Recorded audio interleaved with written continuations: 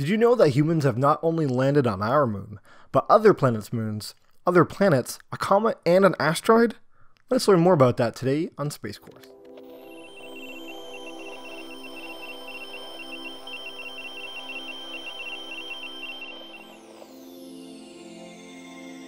For thousands of years, space exploration has been limited to just gazing up at the heavens. That all changed at the invention of the telescope. We were now privy to the solar system's secrets in a way never seen before.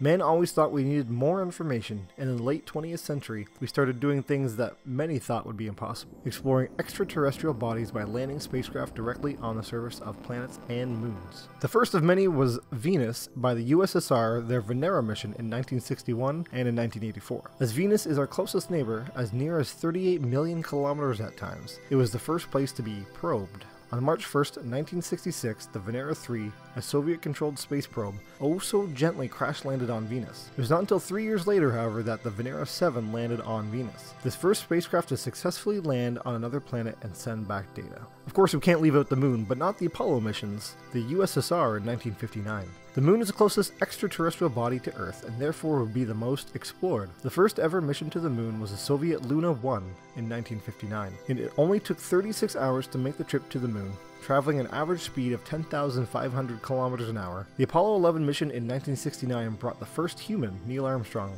to walk on the moon, one of the most memorable events in mankind's history. Of course, next up would be Mars. Mars 2 lander on November 27, 1971 became the first man-made object to reach the surface of Mars, but we did not sustain contact after its crash landing. The most successful exploring mission is the Curiosity rover. It landed on Mars in August of 2012 and has been thoroughly exploring Mars' surface recently due to the possibility of evidence of its life-sustaining capabilities. It has been performing geological research ever since it landed.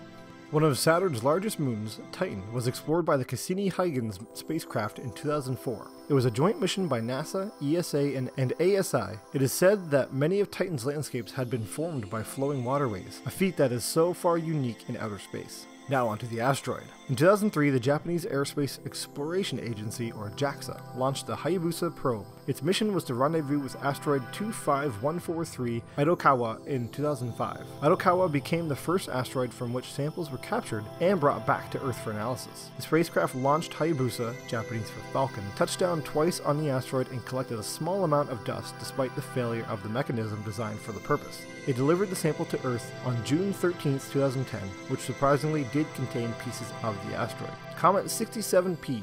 Comet 67P wasn't the first choice for mission planners. Initially, ESA was aiming for a 2003 launch to target Comet 46P. A rocket failure, however, forced the mission to be postponed and changed the target to 67P in 2004. The Rosetta spacecraft safely arrived in August of 2014 and deployed its lander, Philae, in November. The landing did not go as planned. Philae's harpoons did not deploy to attach to the surface. The lander drifted for more than two hours, periodically touching the surface before coming to rest on its side. The lander relies on solar panels to recharge, and in that zone of the comet there was not enough sunlight to keep it active for long. Philae did, however, have backup battery and kept the science going for a few days. A month before its mission ended, Rosetta captured an image of the lander's grave.